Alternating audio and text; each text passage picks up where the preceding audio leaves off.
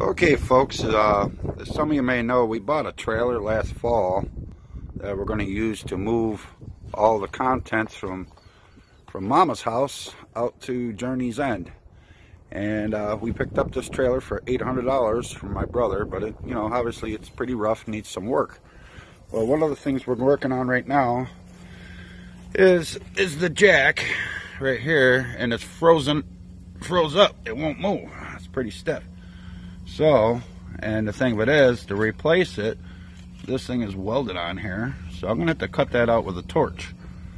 And um, went to Central Tractor. We bought a new one. Uh, move this over here. There we go. Bought a brand new one. And instead of just welding it in, I made up a plate. You see that plate there? I made a plate up out of half inch steel. Uh, I drilled, drilled and tapped the holes so we can unbolt it. Then to save a little bit of money, I made up a, a foot to go on the bottom of it because to buy one of those, that's that's probably about 25 bucks. So anyhow, got some tools, got a, a grinder and some clamps, got a torch to cut the the old crank out, and a small little 110 MIG welder, which will get the job done. But yeah, this is this is our trailer like I said, it's a little dented up. For 800 bucks, you can't ask for much.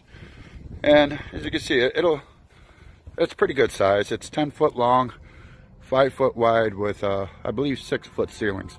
So we'll be able to, we'll be able to put quite a bit in there. So, well, let's get started. Okay, get to work here.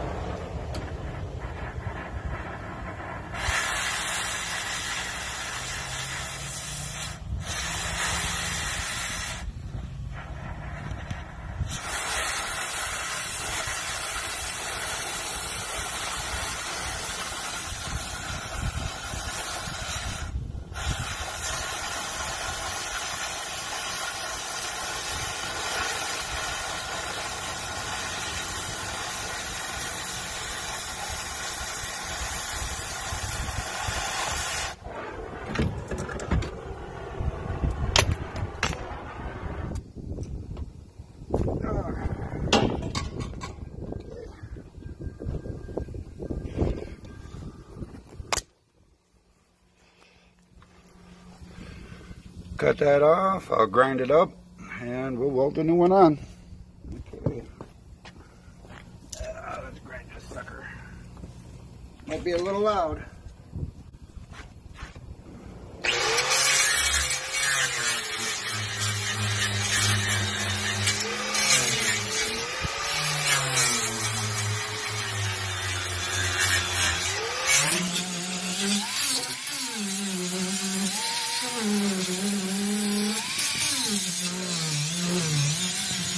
Not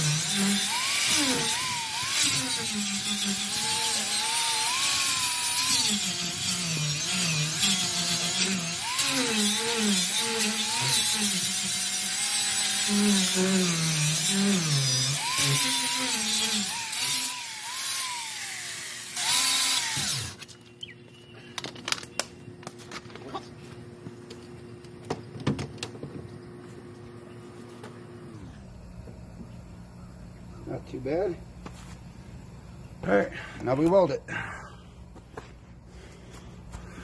Give you a little close-up. So, yep, now we're just going to weld that right on there.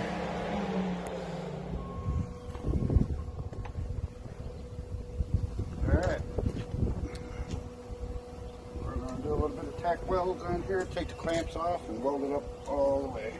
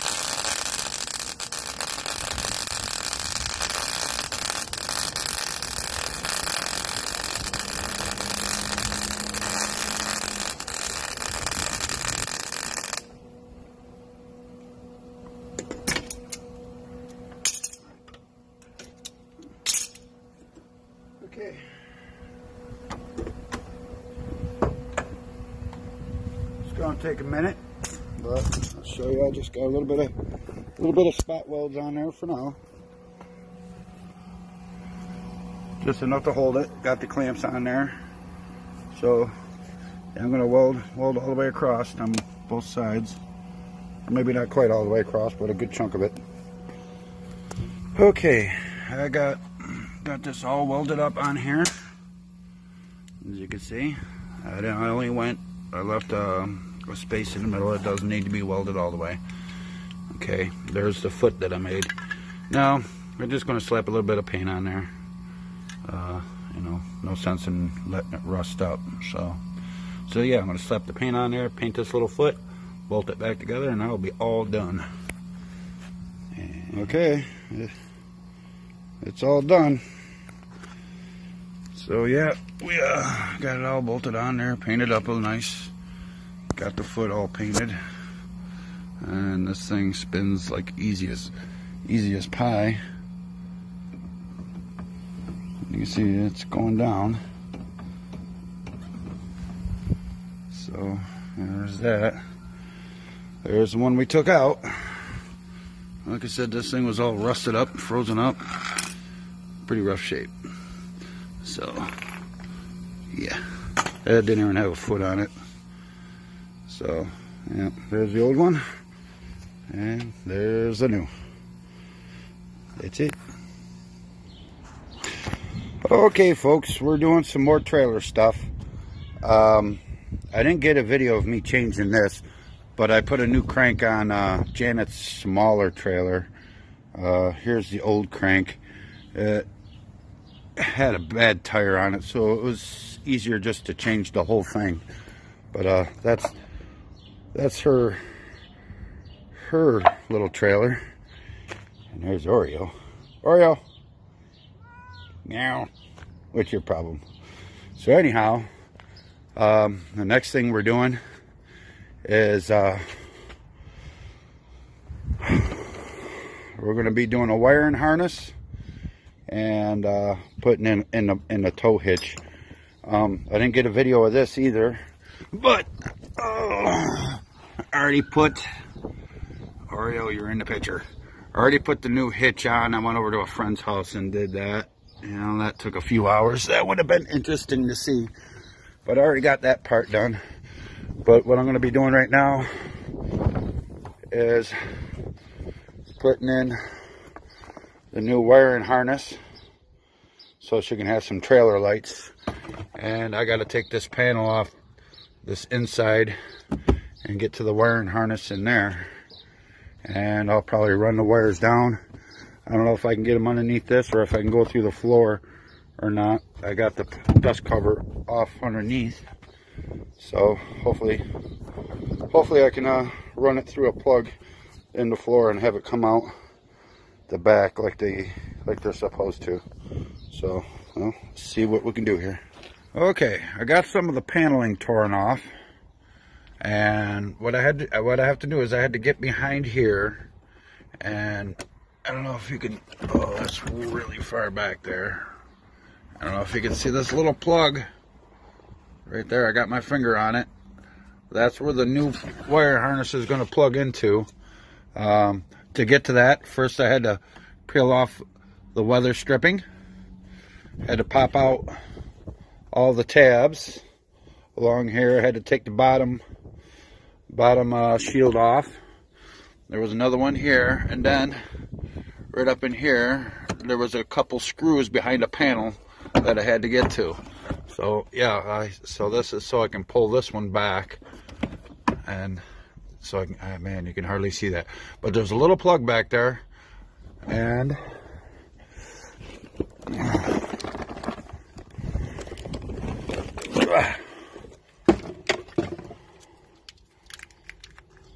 that'll match up to that along with a ground wire. And that's pretty much all there is to it. So I just got to plug that into that there hook up a ground wire. Then there's this uh, little control module. Comes with two-sided tape that you could stick it to the inside of the paneling somewheres but I might use a self tapper through this screw hole because that would probably hold it a lot better. But uh yeah that's that's where I'm at. So next is to try to dig back there and get to that wiring harness and plug this in. Okay. Uh, I already got some of that clip back on, but I got the wiring harness plugged in, the ground wires on. So we're just going to route this underneath here. I guess this thing just lays in the trunk. So when you need it, you just pull it out and drape it over to the side. Uh, so now I just, I got to finish putting all the all the paneling back up and on. And across across the bottom. Throw throw a couple screws in it. Hi babes. Say hi to janet. Where's the kitten? I don't know. I saw him helping you. He ran away. He's like i had enough of this. So all right. Okay it's time for another trailer update. This is the inside of our trailer. And um, that's the base to a shelf that has casters on it. We have a bunch of these and we want to be able to put them in and out of the trailer and, you know, roll them in and out. Um, but seeing how they're on casters, are going to move all over the place. So what I'm going to do is along the wall here, you can see where the seam is. They originally had just thin plywood put over it. You can see I replaced this sheet on this side, but that's how they covered up the seam. So I peeled that off, and what I got is I got uh, just some cheap pine one by one by four boards, and I'm going to screw those on to the wall right here in the framing, um, right along. And then after I screw them on the wall, I'm going to screw on these little brackets so we have something that we can strap bungee cords to or rope or whatever. But these are going to be going along the wall. So our shelves, when the uprights are on on uh, on the shelf, we'll be able to strap them to the wall to keep them from moving around. So I'm going to do one long board on this side, and then on this side, just one short board up to the door. So we'll have one shelf on this side of the trailer and two shelves on this side of the trailer. So, things we're going to need for this job is I got some screws left over from the barn, but these uh, these are self tappers. They tap right in the metal uh, and through wood. I got my clamps, uh, just a drill with a quarter inch drive, a saw, so I can cut my boards, and then the most important thing is coffee. You got to have coffee. It's really hot out today. So in this kind of heat, you want to make sure you stay hydrated. So you got to drink lots of coffee. So, so stay tuned. Okay, before I get started, first thing I got to do is I got to mark where the frames, the frame of the trailer is. So when I screw my boards on, I know where I'm screwing into.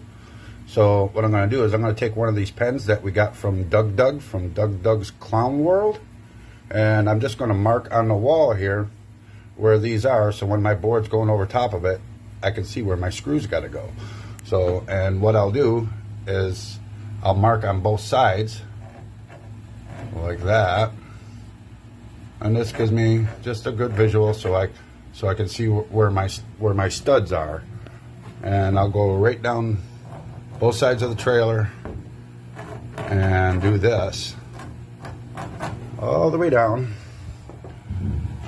And then I will screw my screw my boards on. This one, you can see this is this one's a little different. It's got it's got uh it's like reversed compared to the other ones. So I'm gonna mark the whole thing. And well that's right on the edge. So there. Okay.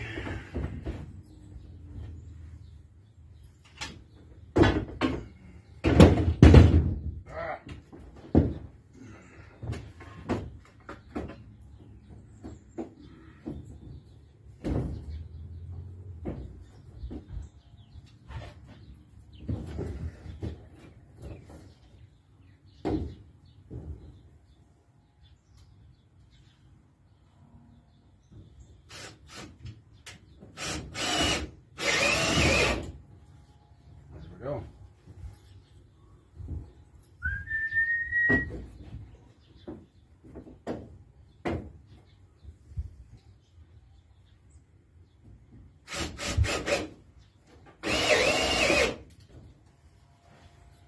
She's got the rhythm. I've got the blues.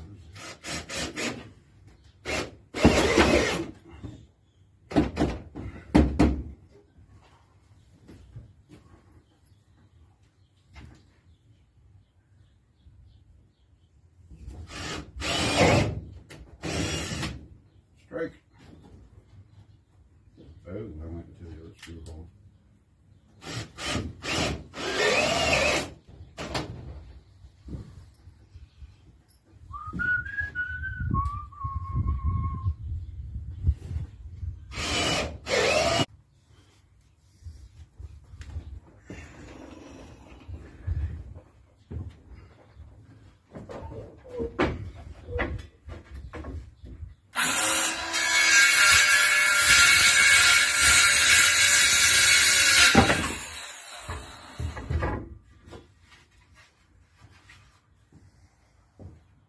Okay.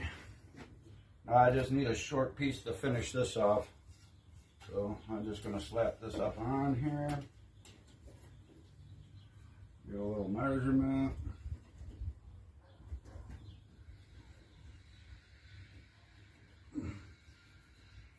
Looks good. Cut it off.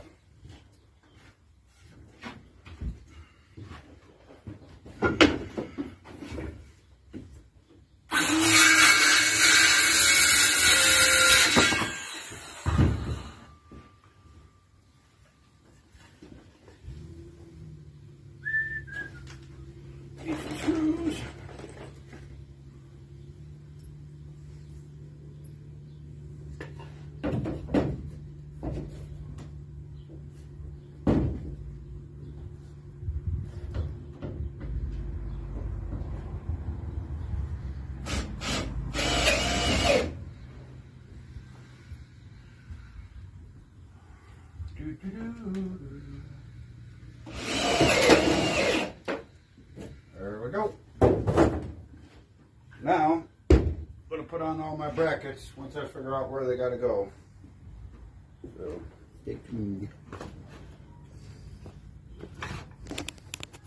Okay, I marked, I marked all along the stud here um, where where our brackets got to go, so that when our posts come up, we can, when our posts come up, we can strap them right in and keep it up tight.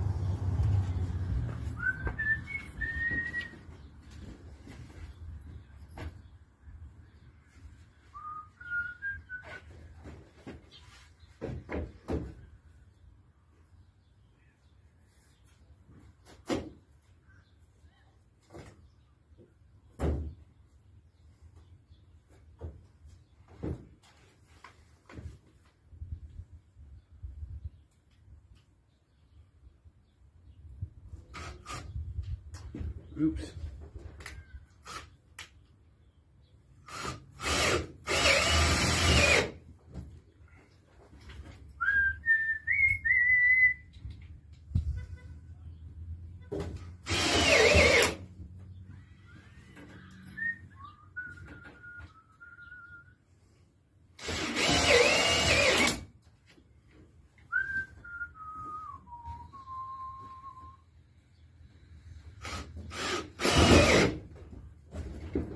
Ouch. Don't do that. Okay.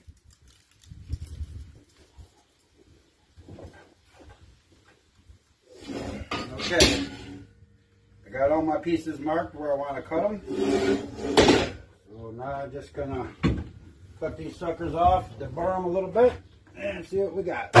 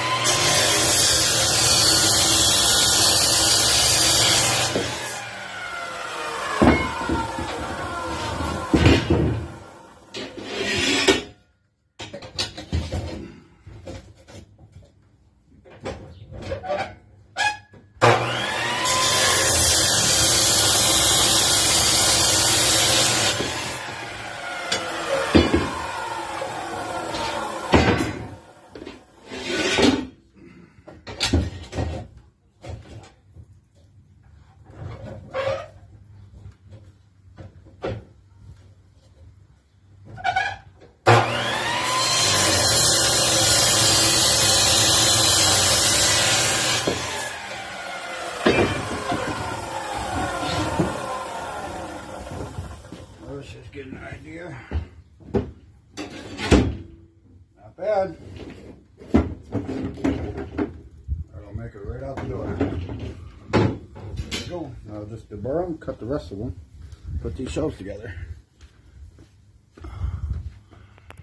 Okay, now the next thing I got to do is um, these are the corner posts that the shelves hook into and you see they, they fit right down in those little square holes down there.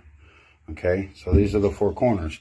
But the thing of it is, uh, they're a little tall. We want to cut these down because um, we want to be able to slide these shelves in and out of the back of the trailer without having to take them apart. So I got to figure out where they're going to be cut down to, trimmed down to. And uh, one of the best ways I find to cut this stuff is to use a nail file. But if you don't have one of these, because not everybody files their nails, is you use one of these. Um, that's a chop saw, and it's got a steel eighth inch steel cutting blade in it, and it just grinds its way right through the metal. So that's what I'm going to do next. Is I'm going to mark my posts, chop them off, and deburr them, and we're going to start putting these shelves together. Okay, there's one one side, got the shelves in, and uh, they're tied in and we uh, kind of put them at different levels. Most of them will fit these bigger totes about like that. And we should be able to get three across. A little, little bit of room on the top. And as you can see, these will just barely make it out the door. And then, like I said, we got got them staggered at different levels. So, because we got some of these shallow totes too, for like your small stuff. And I just tied them into the wall like that on either end. And plus I uh, tied them together. And all that helps stiffen them up a little bit. Yeah. But that's it. That's one side. And then uh, I'm going to put another one right here. And then obviously in the front that'll leave that'll leave all this room in the front because we got the side door and we could just like, you know, stack more totes on the ground or whatever, or maybe a piece of furniture or something going through the side door. Uh, the next thing I'm going to fix is this corner piece right there because it looks ugly. But yeah, that's that's for another time. First time the little red wagon is hooked up. Isn't she cute? She's got a new thingy. Uh, the first time ever? First time ever. Oh. And there's Miss Maggie. Here, wait a minute before you take a picture. I can take my mask off. Oh, it's a video. Oh, well, I'm taking it off. There you go. She's taking it off. She's living life, man. Breathing in the air. Oh, she looks so cute on here. And the end result got the trailer at Mama's house. All ready to go. We're to open it up and we're to fill it with its first load to rehouse. All right, opened up. Babes has the shelves all locked in. Time to fill it. If you're not already subscribed, you gotta know what happens next. You wanna know what I take out of here, right? Like and subscribe.